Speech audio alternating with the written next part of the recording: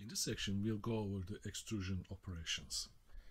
With an object selected, press K, and this is the default menu you'll see. Uh, press Enter or OK at the bottom of the menu, and adjust the to start with. And let's draw a shape like this. Press K again. The menu will pop back up if you want to avoid this menu keep popping back up, simply turn off this confirm actions button so that every time you press K, it'll automatically be applied. So let's turn it off and press enter. Now the shape we drew is cut out of the original geometry we are working on. If you press zero on numpad, you'll see from a different angle what just happened. And this wireframe object is actually the shape we drew. It's extruded to the passing the boundaries of the main object and cutting through the shape that we sketched. On the left bottom corner you'll see the menu if you expand it. What's going on here? Now our default settings are difference mode which means whatever we draw here after it's converted into 3D geometry it will be removed from the main object which is this cube and cut through option is selected. If I turn that off, this is what you'll see. Now, if you, you can still adjust the extrusion length controlling these sliders if you only want to remove a portion of this or the direction. And using the main controls, you can move this shape around, rotate it, uh, or scale it. So now I'll go back to defaults because I made a, quite a few changes here. The easiest way to do that is go to operator presets and restore operator default. So we'll be back to where we were. Now I'm going to turn off this confirm actions button again. And the next thing that you need to remember is that every time you left click into the 3D interface, a new operation will be starting, or at least that's how Sketch and Carve interprets it. It assumes that you just started a new drawing. So let's go to the camera view. I'm just going to draw another shape like this. And when I press K, now that's also removed. But what if we wanted to actually add this? To do that, simply press Union. Now the cut through is automatically switched off because when you're working in union mode, most likely you want to control the depth of the object. Press 0 again on numpad. Let's look at it from the side view. And here's the object. There's a default extrusion length of 0.1 meters or 10 centimeters. Now these shading issues are happening because of guides around and the actual geometry and the wireframes overlapping. So let's turn that off since we'll be doing quite a few union operations. Again, this is the same as before. You can move these around, uh, rotate them. Now let's restore the defaults for now. And also you will see some new colors applied. Every new geometry comes with new material applied to the new sections.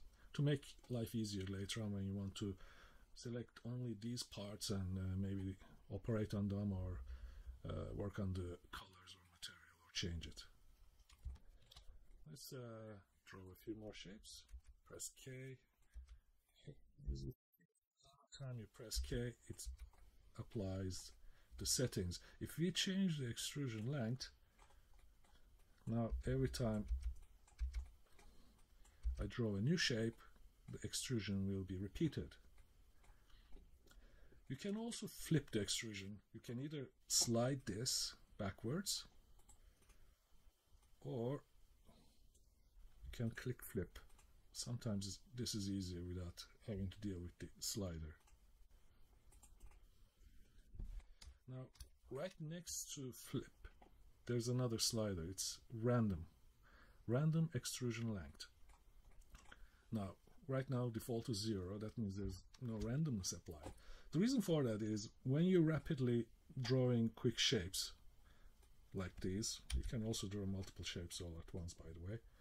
Uh, and if you wanted their depth be slightly different from each other, just increase the randomness. So let's say is uh, let's make this 0 0.30. So now here's one, here's another, here's another, here's another, here's another.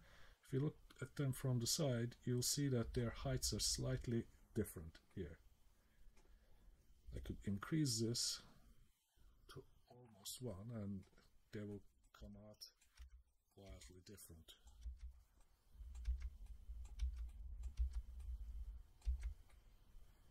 As you can see, the uh, contrast between their length is now much bigger. So that's what that button does. And the next row of buttons are subdivisions.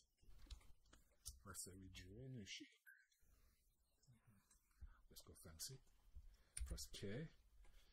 And let's increase the subdivision. Actually, let's turn this randomness off.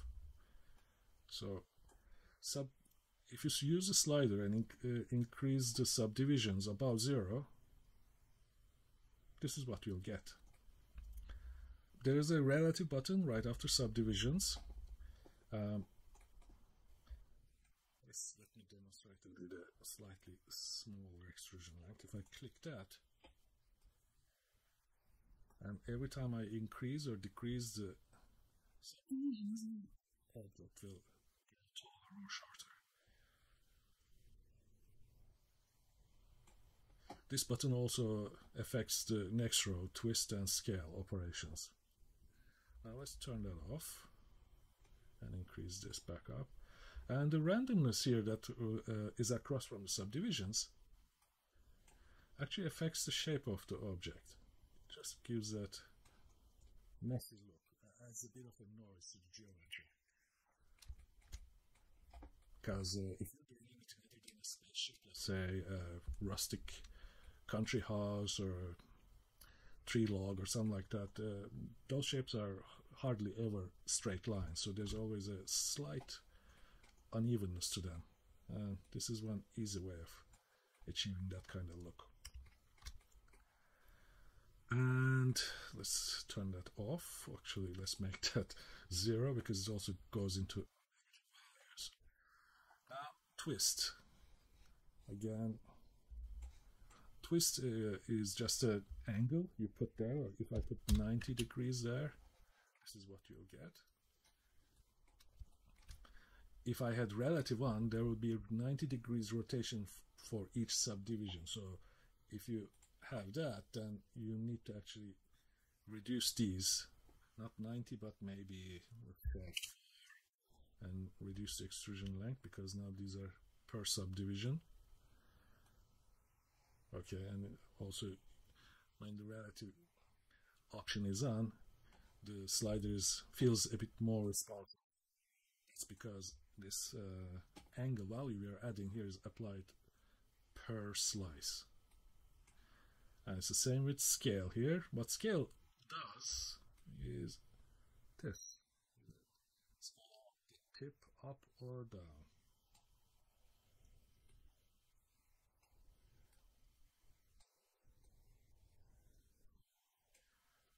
Let's reset these.